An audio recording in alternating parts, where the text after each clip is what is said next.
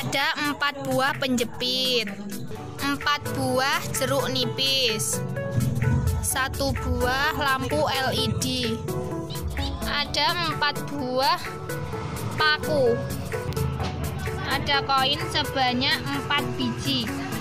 Kemudian dirangkai seperti ini. Jangan sampai koin ketemu koin, besi ketemu besi.